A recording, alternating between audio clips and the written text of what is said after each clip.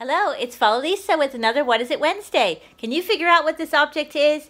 If you do, just put a comment below that you figured it out, but don't put what it is. You don't want to spoil it for the others. Don't forget to subscribe and click on the little bell so you'll receive notifications. See you at the end of the video for the answer. Bye.